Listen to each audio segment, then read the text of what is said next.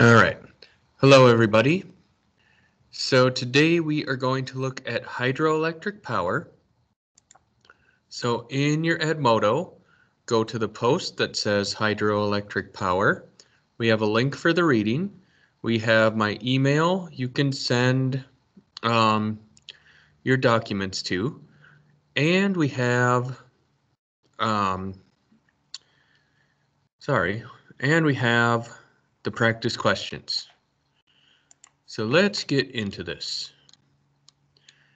So, um, moving water has energy. So the energy is used to make electricity. So hydroelectric power, also known as hydropower, is going to use the energy of water moving down a stream. All right. So to be able to get the power, this hydropower, um, a stream needs to be dammed. So narrow valleys are going to be the best for dams because it's the least amount of construction. Um, so when the water is behind the dam, it has potential energy. So it's storing the energy, it's not moving. When this water is allowed to flow downhill, um, it's going to flow downhill into the into a large turbine and make the turbine spin. Now the water has kinetic energy because it's moving. All right. So the spinning turbine is connected to a generator, which makes electricity.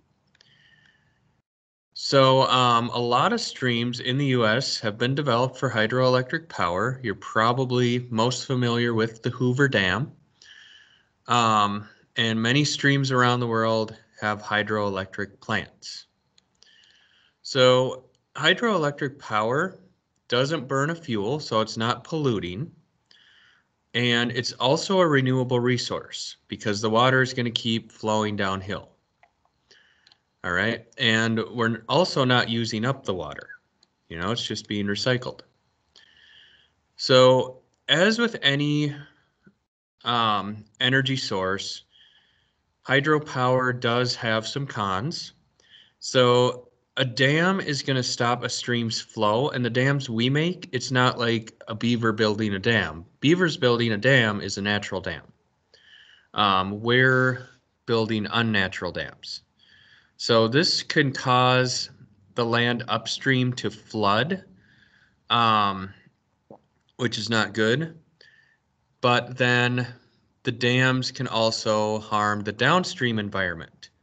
So living things downstream may not be able to survive.